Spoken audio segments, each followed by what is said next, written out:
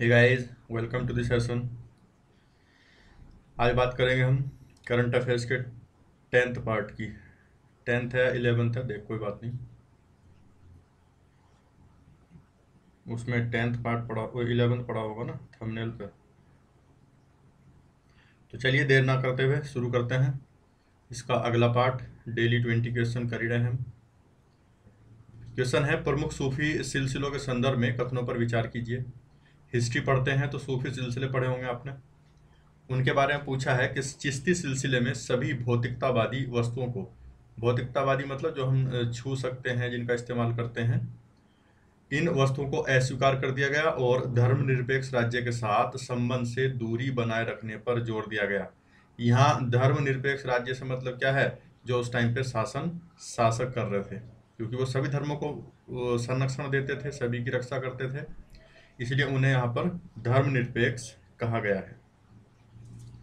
सुहरावर्दी सिलसिले ने सुल्तानों से रखरखाव अनुदान स्वीकार नहीं किया। नक्शबंदी सिलसिला पंजाब में लोकप्रिय था और इसने अकबर के अधीन मुगलों का समर्थन किया था। सही बताना है कौन सा? करेक्ट है।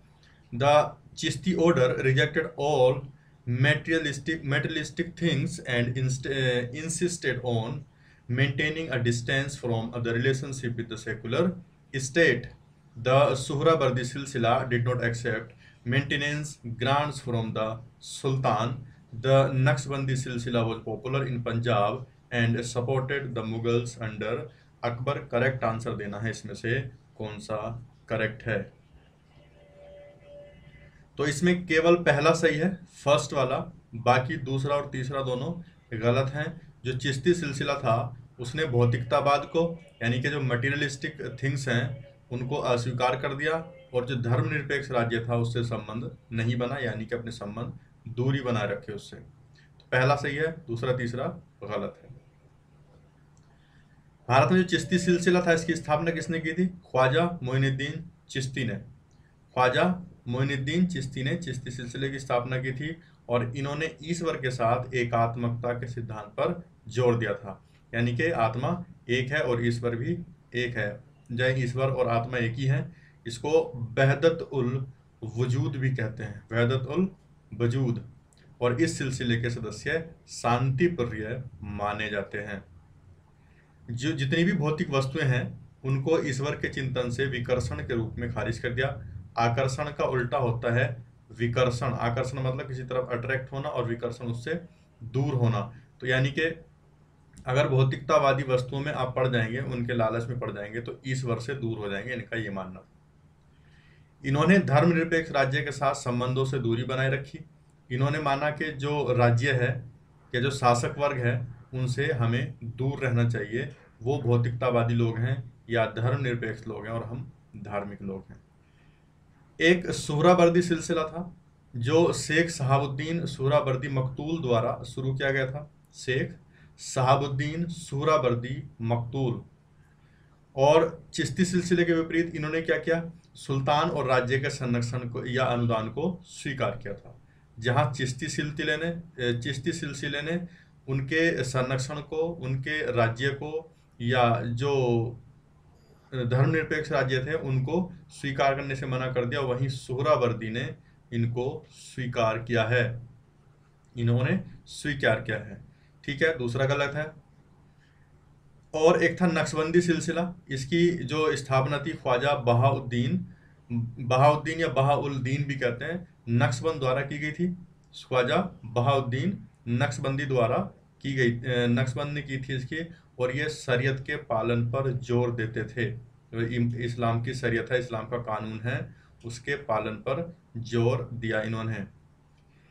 एक था कदीरिया, या कादिरिया जो कादिर के नाम पे पड़ा है, कदीरिया सिलसिला, ये पंजाब में लोकप्रिय था। तो तीसरा भी गलत है, कदीरिया जो सिलसिला था, ये पंजाब में लोकप्रिय था और इसकी स्थापना की थी अब्दुल कादिर गिलानी, या जिलानी भी बोलते हैं कई बार।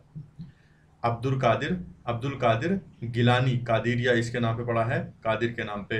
अकबर के अधीन मुगलों के ये समर्थक थे, तीसरा गलत है। तो पहला सही है, दूसरा तीसरा गलत है।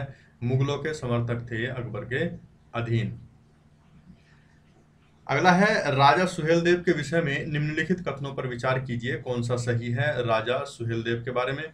उन्होंने वर्तमान गुजरात में सॉरी सही नहीं है पूछ रहा उन्होंने वर्तमान गुजरात में शासन किया तथा वह मोहम्मद गोरी के समकालीन थे। मिराते मसूदी, राजा सुहेल देव की जीवनी है, जिसे सालार मसूद द्वारा लिखा गया था।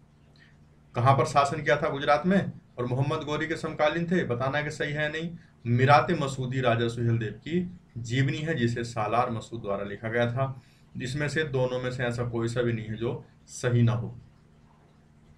मतलब सॉरी ये पूछ रहा था कौन सा सही नहीं है? इसमें से दोनों ही सही नहीं है। फ़र्स्ट और सेकंड सी आंसर हो जाएगा इसका। इसमें से दोनों ही सही नहीं है। ये वैसी पिक्चर है इनकी। सुहेलदेव जो है, बहराइच ज़िले के जो उत्तर प्रदेश में पड़ता है, उसके श्रावस्ती के जो पूर्व शासक थे कहाँ के? यूपी के श्रावस्ती, जो बहराइच ज़िले में पड़ता है। तो पहला गलत है, गुजरात के नहीं थे। ये महमूद गजनबी के समकालीन थे। महमूद गजनबी और इन्होंने गुरिल्ला युद्ध किया था इसके खिलाफ, इसके विरुद्ध। गुरिल्ला युद्ध के लिए जाने जाते हैं। जब सोमनाथ मंदिर में महमूद गजनी द्वारा लूट की गई थी तो इससे काफ़ी दुखी हुए थे सोमनाथ मंदिर में गोरी गजनबी द्वारा इनकी लूट से गजनबी की लूट से काफ़ी व्यतीत, यानी के दुखी हुए थे, ना कि गोरी के समकालीन थे। इनका सुहेल देव की पुस्तक नहीं है, मिरातुल मसूदी या मिरात मसूदी, इनका उल्लेख किया गया इसमें। ये फारसी भाषा का एक ऐतिहासिक ग्रंथ है। फारसी भाषा में लिखी गई है मिरात मसूदी और मिरात मसूदी किसकी जीवनी है? सालार मसूद गाजी की। सालार मसूद गाजी की जीवनी मिरात मसूदी है, जिसमें इनका भी ज़िक्र किया गया है और इसको अब्दुल रहमान चिश्ती ने लिखा था। Very good morning Anjani.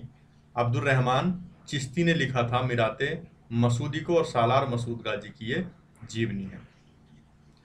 अगला क्वेश्चन है, विश्व व्यापार संगठन या डब्ल्यूटीओ के संदर्भ में कथनों पर विचार कीजिए। With reference to the world trade organisation consider the following statement इसमें से कौन सा सही है, यानी कि करेक्ट आंसर देना है।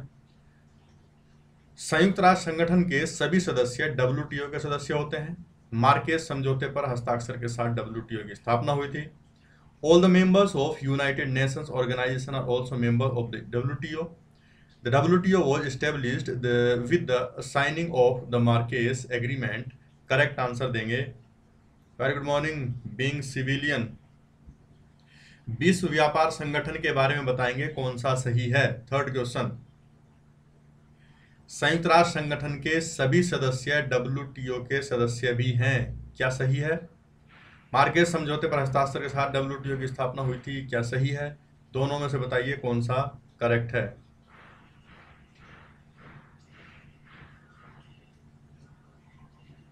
मैथ वाली क्लास है Examil twenty four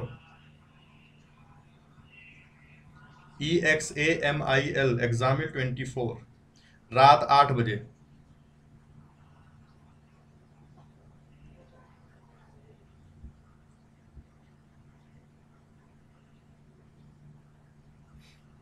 इसमें पहला गलत है, संयुक्त राष्ट्र में 193 मेंबर्स हैं, और जो डब्ल्यूटी है, इसमें 163 मेंबर्स हैं। 191 है कि 193 तो जितने संयुक्त राष्ट्र के सदस्य हैं, वो सभी डब्ल्यू के सदस्य नहीं है, कहने का मतलब ये है। तो पहला गलत है, दूसरा सही है। दूसरे में आंसर बी।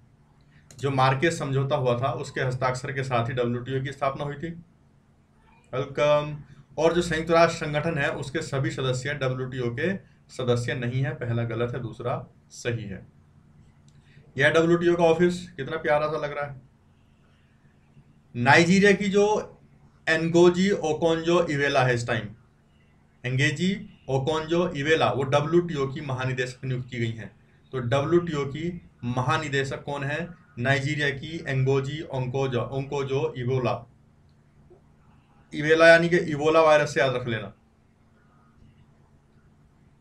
डब्ल्यूटीओ में एक देश हैं और यूएनओ में एक सौ तिरानवे।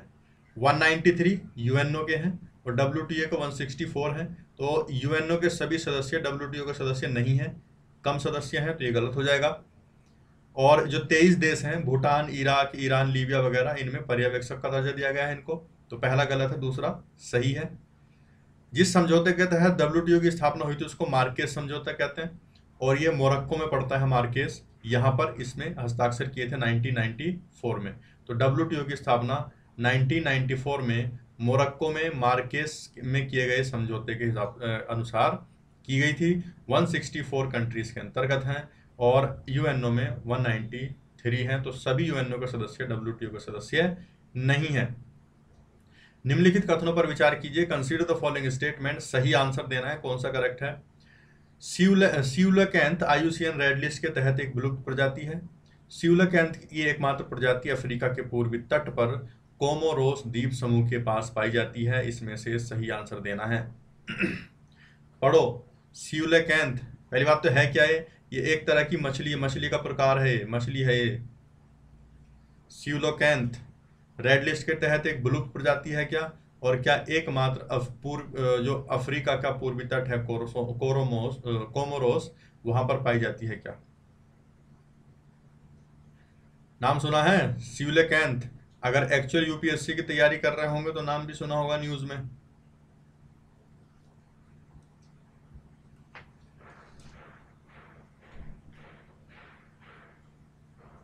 इसका डी आंसर है, कोई सा भी सही नहीं है इसमें। रेड लिस्ट के नहीं है ये मतलब लुप्त प्राय है डेंजर्ड में। तो आयुसियन की रेड लिस्ट में नहीं है, और ये एकमात्र प्रजाति अफ्रीका के पूर्वी तट पर कोमोरोस द्वीप के पास पाई जाती है। सिर्फ़ अफ्रीका में नहीं, और ये इंडोनेशिया के आसपास भी पाई जाती है आई थिंक यानी कि दोनों जगह पाई जाती है। तो एकमात्र अफ्रीका में नहीं मिलती है, दोनों गलत है, पहला भी और दूसरा भी तो डी आंसर हो जाएगा फोर्थ का। इसको डायनासोर्स के टाइम का माना जाता है कि डायनासोर के टाइम पे विलुप्त हो गई थी। इसको दो नाम है, कोलेकैंथ या सीलोकैंथ। ये एक विशाल मछली का जीवाश्म है, जिसकी खोज हुई है अभी। इसे जीवित जीवाश्म का एक प्रमुख उदाहरण माना जाता है। एक जीवाश्म की खोज हुई है इसको मछली का जीवाश्म माना जाता है। नाम दिया है इसको सीलेकैंथ या कोलेकैंथ। छियासठ मिलियन वर्ष पुरानी है लगभग। क्रेटेशियस युग से संबंधित। क्रेटेशियस जब डायनासोर थे जबकि। और यह समुद्र की सतह से भी 2300 फीट नीचे गहराई में निवास करने वाला एक जीव था। बोलते नहीं कि समुद्र के जो बिल्कुल नीचे वाला एरिया वहाँ पर जीव नहीं रहते, लेकिन वहाँ पर भी जीव रहते हैं। लगभग 2300 फीट नीचे समुद्र के। ये डायनासोर के साथ विलुप्त हो गई थी और 1938 में इसकी खोज के साथ एक जो शुरू हो गई थी, एक बहस। खैर इसे फालतू की चीज़ें हैं, पढ़ लेना। ये अफ्रीका के पूर्वी तट के जो कोमोरोस द्वीप है, उसके पास और इंडोनेशिया के सुलावेसी द्वीप है, उसके पास वहाँ पर पाई जाती है। कहाँ? अफ्रीका के पूर्वी तट। कोमोरोस कोमोरोस द्वीप और इंडोनेशिया का सुलावेसी द्वीप दोनों जगह पाई जाती है ओनली अफ्रीका में नहीं तो दूसरा भी सही नहीं है, पहला भी सही नहीं है। गंभीर रूप से लुप्त प्राय, यानी कि क्रिटिकली इंडेंजर्ड की लिस्ट में आती है, ना कि विलुप्त की। क्रिटिकली इंडेंजर्ड यानी कि गंभीर रूप से लुप्त प्राय की श्रेणी में आती है, और ये सुभेद्य की लिस्ट में इसको सूचीबद्ध किया गया है, और साइस्ट के परिशिष्ट एक में इसका नाम आता है, साइट्स का परिशिष्ट एक। संदेश ऐप के संदर्भ में कथनों पर विचार कीजिए with reference to Sandes app consider the following statement सही आंसर देना है, कौन सा करेक्ट होगा? इसे राष्ट्रीय सूचना विज्ञान केंद्र यानी कि एनआईसी द्वारा लॉन्च किया गया है, राष्ट्रीय सूचना विज्ञान केंद्र। यह एक त्वरित मैसेजिंग सिस्टम है, या प्लेटफॉर्म है, और जिसका उपयोग केवल सरकारी कर्मचारियों द्वारा किया जा सक, जाता है। एनआईसी या राष्ट्रीय सूचना विज्ञान केंद्र द्वारा इसको लॉन्च किया गया और त्वरित मैसेजिंग प्लेटफॉर्म है, जिसका उपयोग केवल सरकारी कर्मचारी द्वारा किया जाता है। सही आंसर देंगे। It has been launch by national information informatic centre NIC it is an instant messaging platform use only by government employees इसमें से करेक्ट आंसर दीजिए। फिफ्थ क्वेश्चन का करेक्ट आंसर है। एक सिर्फ़, इसको सिर्फ़ सरकारी कर्मचारी यूज़ नहीं करते हैं, जो बाकी लोग भी हैं उसको यूज़ कर सकते हैं। ठीक है तो पहला सही है, दूसरा गलत है। एनआईसी द्वारा इसको लॉन्च किया गया है। यह मैसेजिंग ऐप संदेश, स्वदेशी मैसेजिंग ऐप है व्हाट्सएप की तरह एक एक टाइप का। राष्ट्रीय सूचना विज्ञान केंद्र, यानी कि एनआईसी ने इसे व्हाट्सएप की तर्ज पर लॉन्च किया है और इलेक्ट्रॉनिक और सूचना प्रौद्योगिकी मंत्रालय के तहत ये काम करता है केंद्र सरकार का, राज्य सरकार का और केंद्र शासित प्रदेशों के लिए, जो नेटवर्क और ई गवर्नेंस में सहायता प्रदान करता है। कौन? एनआईसी ध्यान रखेंगे इलेक्ट्रॉनिक और सूचना प्रौद्योगिकी मंत्रालय के अंतर्गत ये काम करता है। गवर्नमेंट इंस्टेंट मैसेजिंग सिस्टम है, जिसे किसी भी सरकारी कर्मचारी या सार्वजनिक उपयोगकर्ता द्वारा वैध मोबाइल नंबर या ईमेल आईडी से इसको यूज़ किया जा सकता है। तो सार्वजनिक उपयोगकर्ता हो सरकारी कर्मचारी हो, कोई भी इसको इस्तेमाल कर सकता है, इसलिए दूसरा गलत है। गिरगिट के बारे में निम्नलिखित कथनों विचार कीजिए। Consider the following statement about chameleons इसमें से सही आंसर देंगे गिरगिट के बारे में कौन सा सही है। गिरगिट के बारे में बताएँगे, वे गर्म आवासों में रहते हैं, जो वर्षामन से लेकर मरुस्थलों में पाए जाते हैं। गर्म आवास। गिरगिट ब्रुकेसिया माइक्रा सभी ज्ञात सरीसृपों में सबसे छोटा है, यानी कि एक गिरगिट का कैटेगरी है ब्रुकेसिया माइक्रा। भारत लगभग दो तिहाई गिरगिट की प्रजातियों का आवास स्थल है। इसमें से सही कौन सा है ये बताएँगे। पहला, दूसरा और तीसरे में से। कौन सा सही है? इसमें सिर्फ़ पहला सही है, पहले का मतलब केवल सी। पहला इसमें सही है, बाकी दोनों गलत हैं।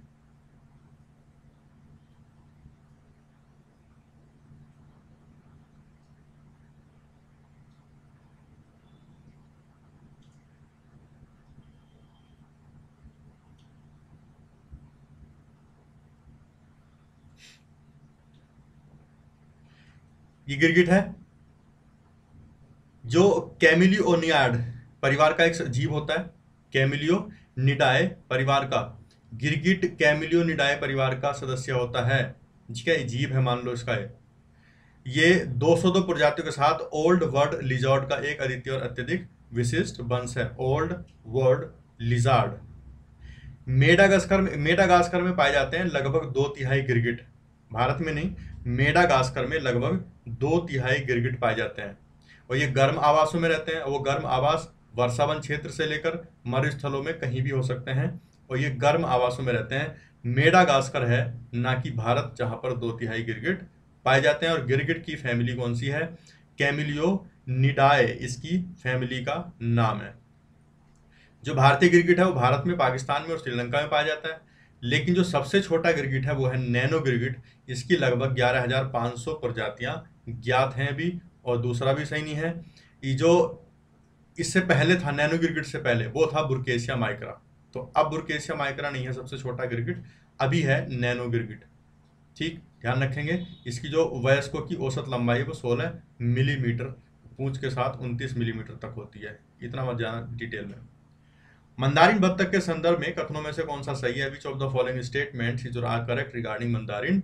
Duck इसमें से सही आंसर देना है करेक्ट यह केवल एशिया और पूर्वी एशिया में पाई जाती है, जो मंदारिन बत्तख है।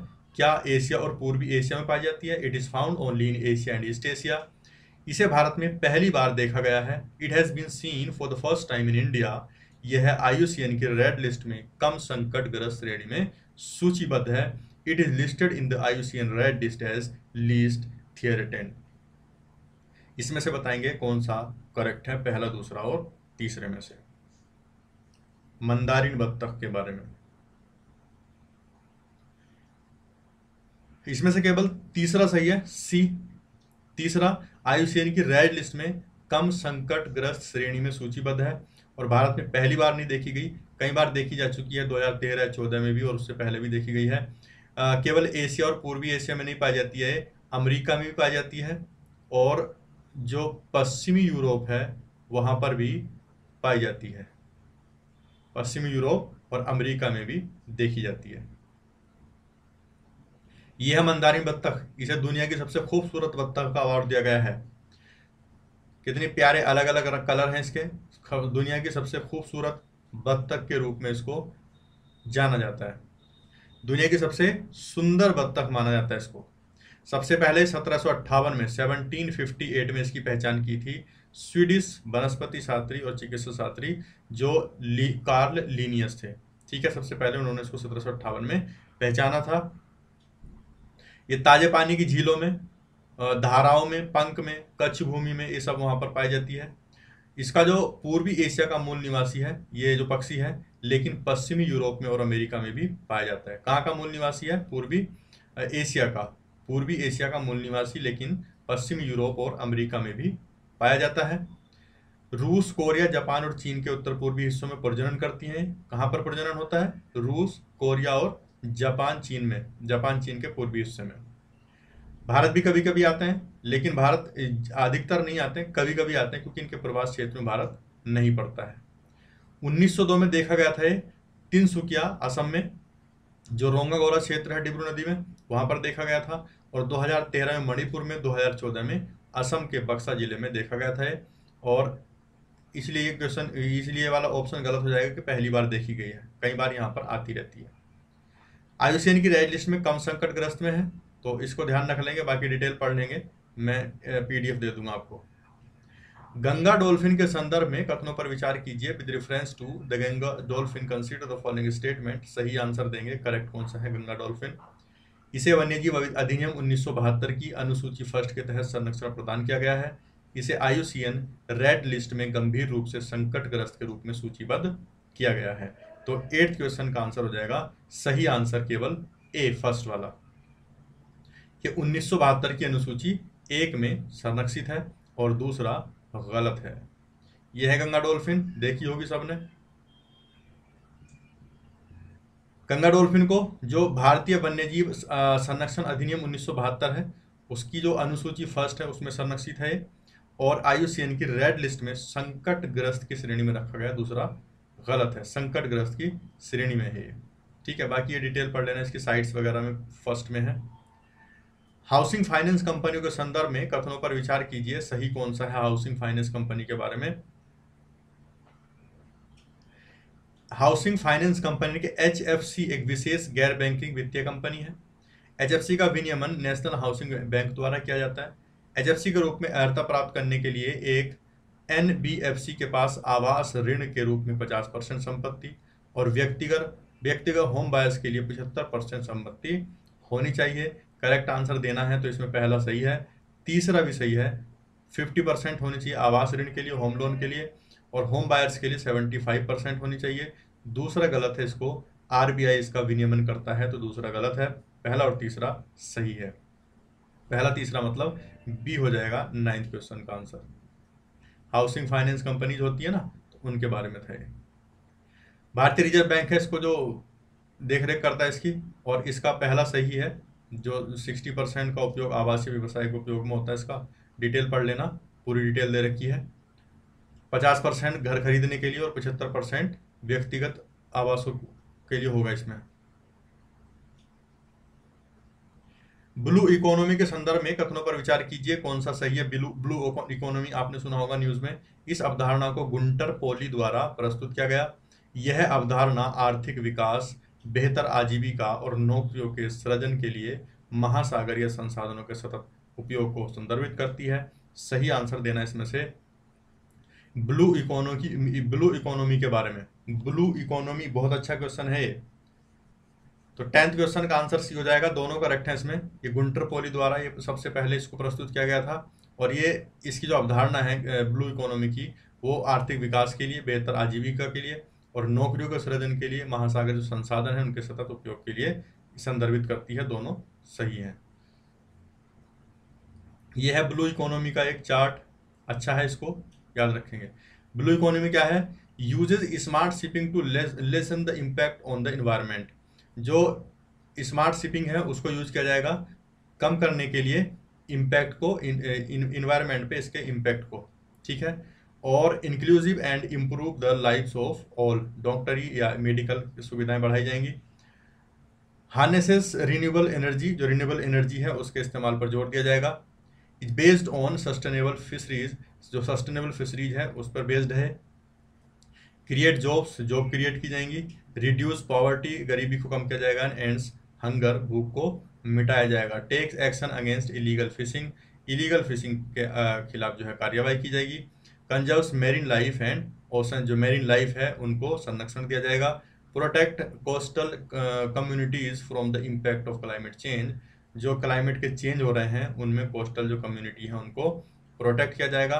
Tackles, marine litter and ocean pollution, जो ओशन पॉल्यूशन है उसको ख़त्म किया जाएगा, उनको टैकल किया जाएगा। ये सब ब्लू इकोनॉमी के हिस्से हैं। ब्लू इकोनॉमी का ध्यान रखेंगे इसको।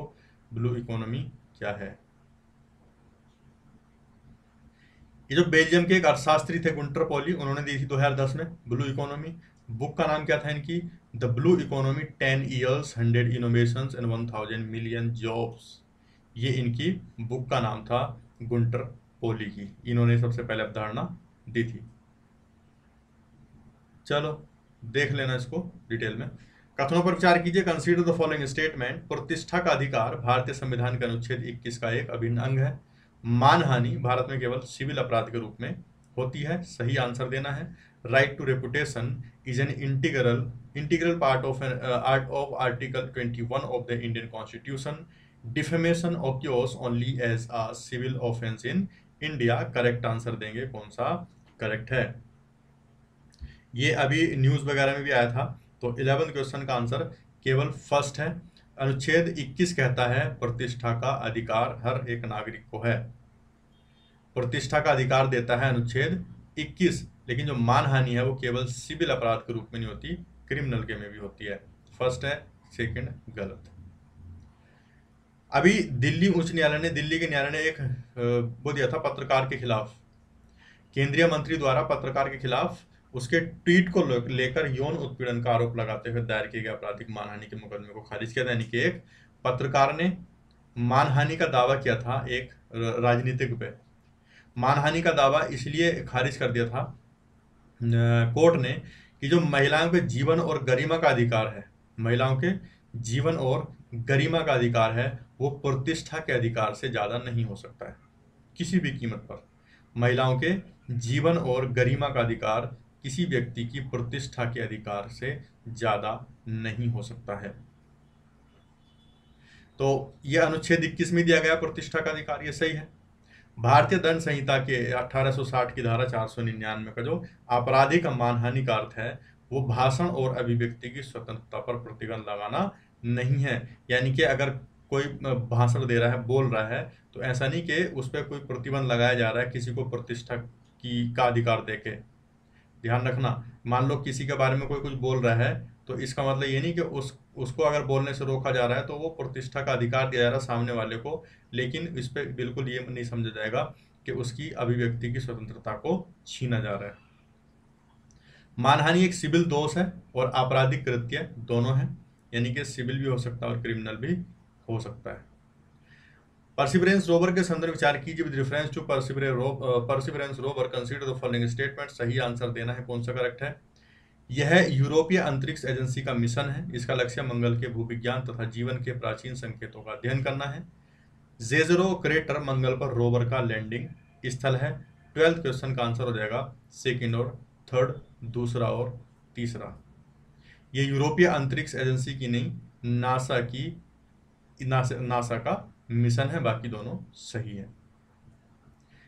यह है परसिवरेंस रोवर नासा का मिशन है मार्च 2020 का एक हिस्सा है ठीक है? पहला सही नहीं है बाकी दूसरा और तीसरा दोनों सही है। डिटेल इसकी टेलीग्राम से पढ़ लेना पीडीएफ दे दूँगा।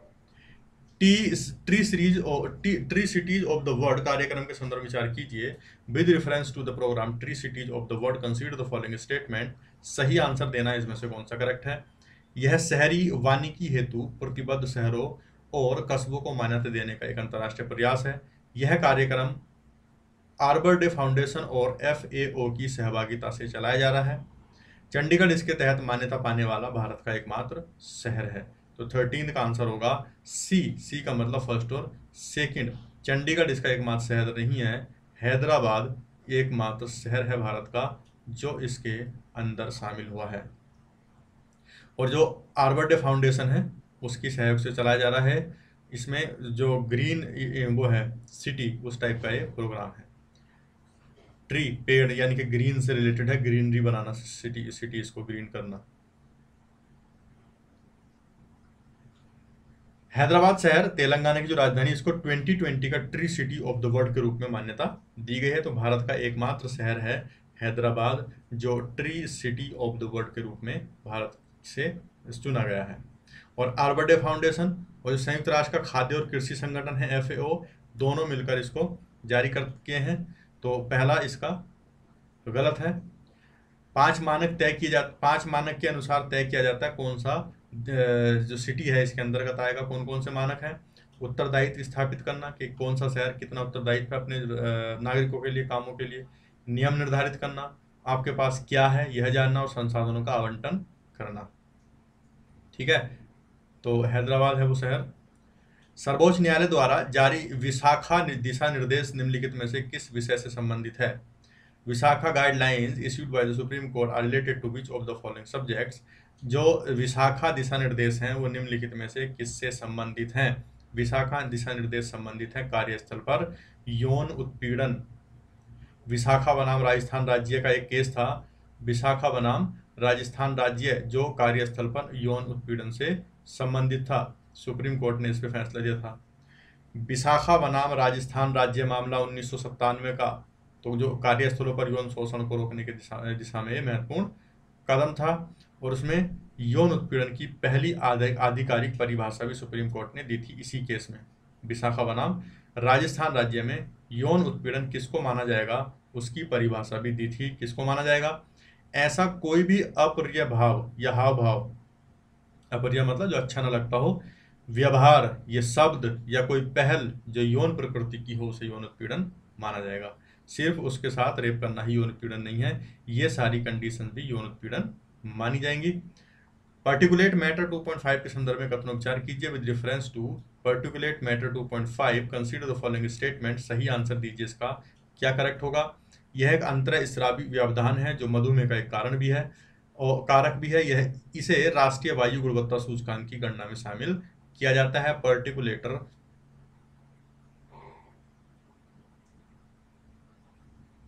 पर्टिकुलेटर मैटर 2.5 तो दोनों सही हैं, पहला भी और दूसरा। पहला, दूसरा दोनों सी आंसर है इसका फिफ्टीन क्वेश्चन का।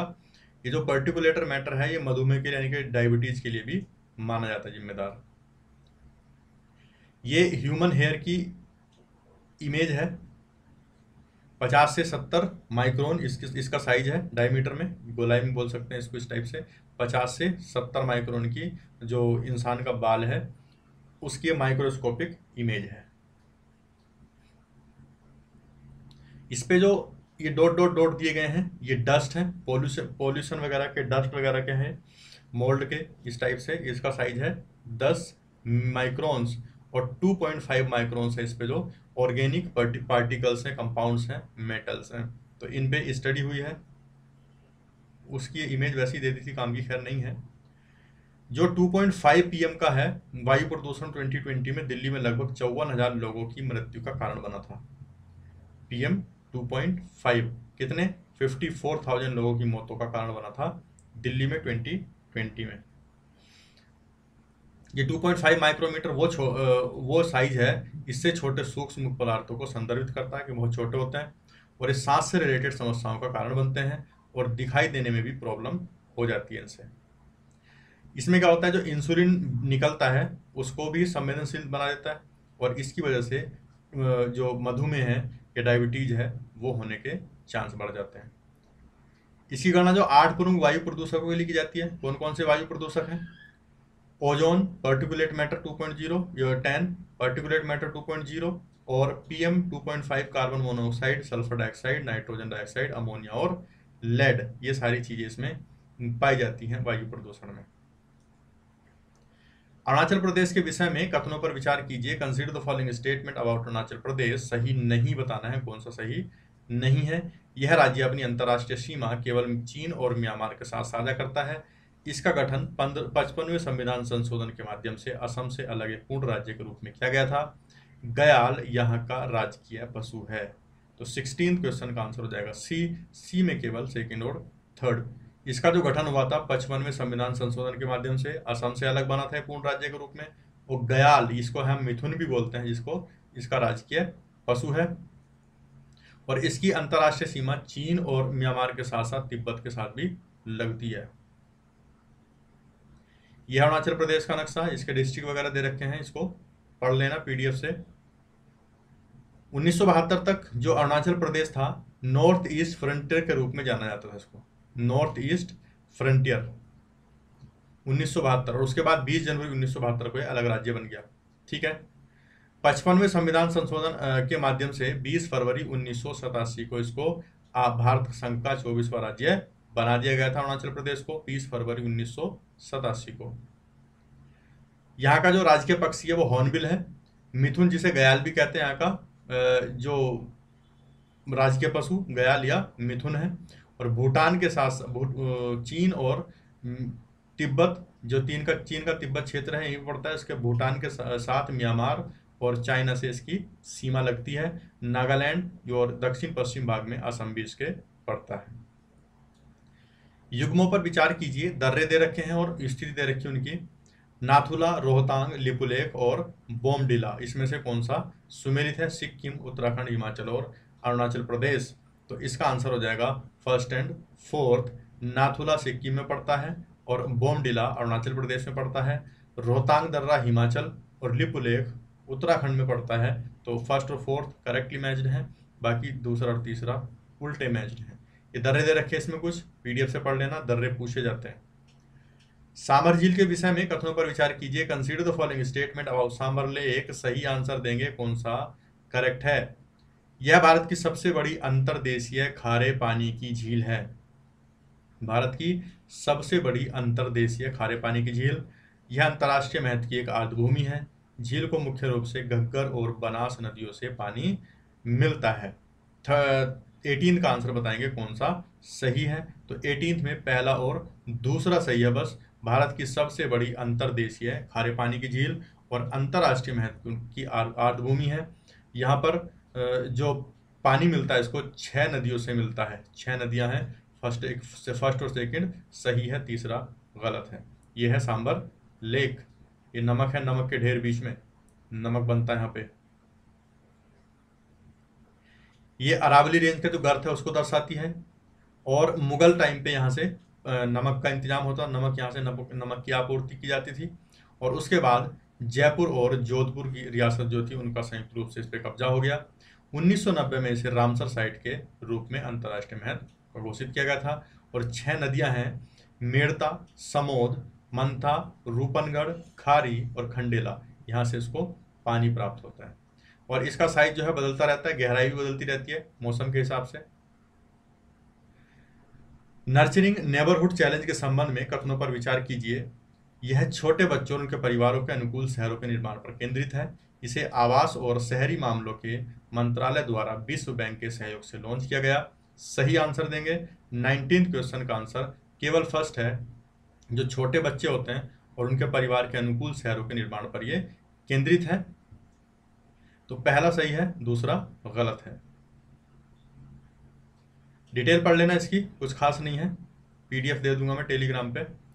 आवास और शहरी मामलों का मंत्रालय वर्नार्ड बैन लीर फाउंडेशन और विश्व बैंक संसाधन संस्थान द्वारा जो जो है इसका संगठन है इसके सहयोगी संगठन भारत। भारतीय एंटी टैंक गाइडेड मिसाइल के संदर्भ में कथनों पर विचार कीजिए, इसमें से कौन सा सही है आंसर दीजिए। हेलिना और ध्रुवास्त्र क्रम से भारतीय वायुसेना और थल सेना हेतु विकसित एंटी टैंक गाइडेड मिसाइल हैं डीआरडीओ द्वारा प्रोजेक्ट 75 के तहत एंटी गाइडेड नाग मिसाइलों को विकसित किया गया है। सही आंसर देंगे। इसमें से दोनों में से कोई भी सही नहीं है। उल्टा है ये, हेलिना थल सेना का है और ध्रुवास्त्र वायुसेना का है। यह है anti guided tank missile Helina और ध्रुवास्त्र भारतीय थल सेना और वायुसेना की है। नाग तीसरी पीढ़ी की दागोर भूल जाओ, उसकी मिसाइल है। दागोर भूल भूल जाओ जो श्रेणी आई थी। एकीकृत गाइडेड मिसाइल विकास कार्यक्रम जो नाग मिसाइलों का डीआरडी इसको विकसित किया है। और जो प्रोजेक्ट 75 इंडिया है, उसमें जो सेंसर बेहतर सेंसर हथियारों और air independent propulsion propulsion system के साथ छह पारंपरिक पनडुब्बियों का निर्माण भी इसके अंतर्गत किया जाएगा। तो प्रोजेक्ट 75 अलग है इनसे। तो चलिए, अभी के लिए इतने रखते हैं। उम्मीद करता हूँ क्वेश्चन थोड़े ठीक ठाक लग रहे होंगे। बाकी अक्टूबर में आपकी जो यूपीएससी का एग्ज़ाम है, वो आने वाला ही है। तब तक इसको मैं पूरा कवर करा दूँगा। ठीक है? फिर मिलूँगा आठ बजे शाम मैथ में और उसके बाद हिस्ट्री